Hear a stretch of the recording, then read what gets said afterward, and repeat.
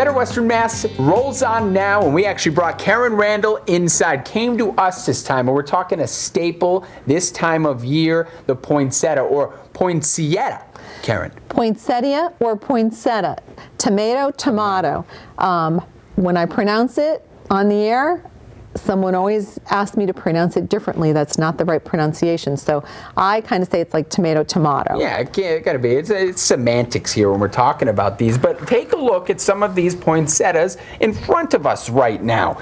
The colors, Karen, they really do pop. It's more than just red. It is more than just red. Uh, plant breeders have been developing all kinds of natural colors. Look at that red there. It's a staple. It, it is really a staple is. and it's stunning. You know, there, there's very showy, beautiful, classic red poinsettia. Uh, there, you, you just can't compare. But the plant breeders have come up with all these other beautiful natural colors.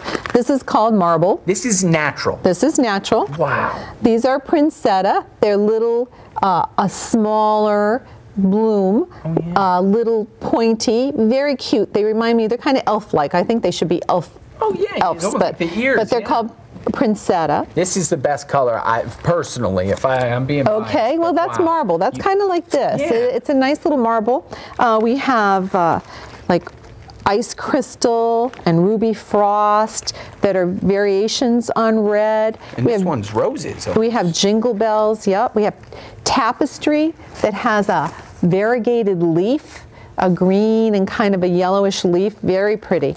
And this is, this is winter rose. This is my favorite every year. Uh, it has this curly uh, blossom or mm -hmm. curly leaves, bracts.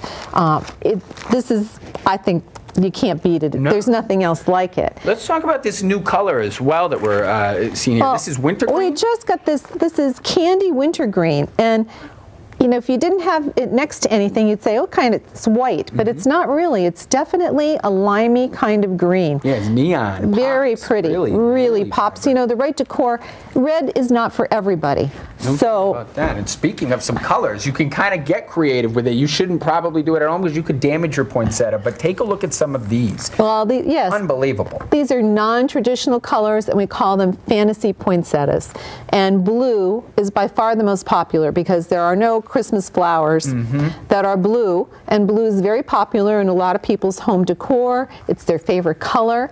So we use a special dye that's developed by the plant breeders, spray white poinsettias for the most part, and then we put um, a plant-safe glue we spray on it, and we dust it with a special glitter.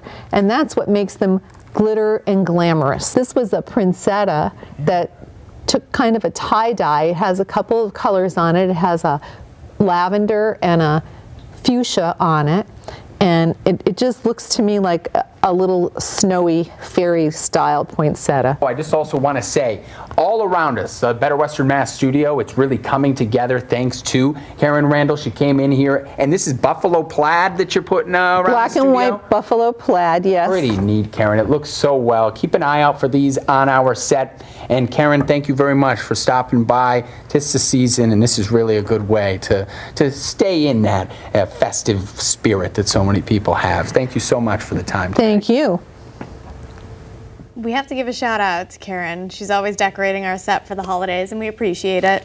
And I love the tie-dye one that she was pointing out. Yeah, we saw that one. I mean, we have them all over the place. And like she mentioned, mentioned, it's not just red. I mean, we have right. so many different colors throughout the set, especially here yep. on Better. So I grabbed the purple one. Love the purples and the pinks. Mm -hmm. And mm-hmm. it'll last through the holidays if you have yeah. those colors. And one thing she did say is even if you get a poinsettia, always want to make sure, even if you're transporting it from mm -hmm. A store to your house, even if it's really quick, you need to have one of these jackets on them. So just make sure that you keep that in mind if you buy one that doesn't have it already on so that it looks so pretty. And it's a great Christmas all winter gift. long.